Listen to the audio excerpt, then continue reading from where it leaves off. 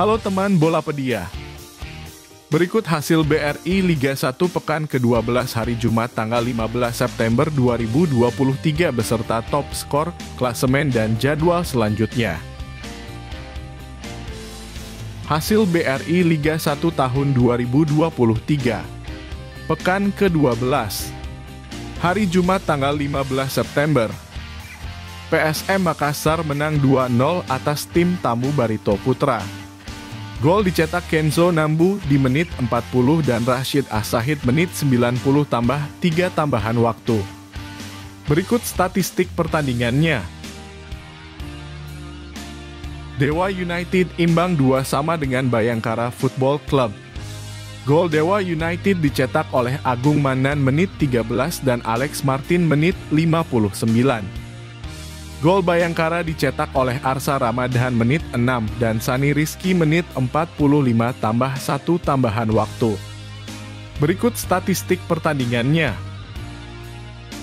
Bali United kalah 1-2 oleh tim Tamurans Nusantara Football Club. Gol Bali United dicetak oleh Yabes Roni menit 90 tambah 4 tambahan waktu. Gol Rans Nusantara Football Club dicetak oleh Kensiro Daniels menit 60 dan Evandro Brandau menit 76. Berikut statistik pertandingannya. Berikut top skor sementara BRI Liga 1 tahun 2023 sampai pekan ke-10. Di posisi pertama, Gustavo Almeida dari Arema Football Club dengan 9 gol. Disusul Alex Martins dari Dewa United di posisi kedua dengan 7 gol. Di posisi ketiga, ada Junior Brandau dari Madura United, Carlos Fortes dari PSIS Semarang, Morilo Mendes, dan Gustavo Tocantins dari Barito Putra dengan 6 gol.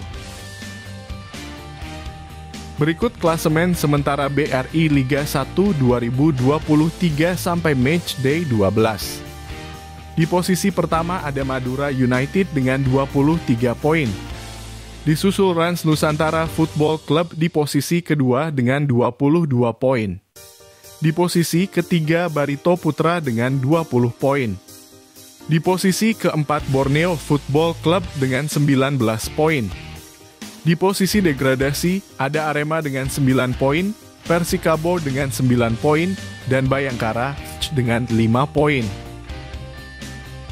Berikut jadwal selanjutnya BRI Liga 1 pekan ke-12.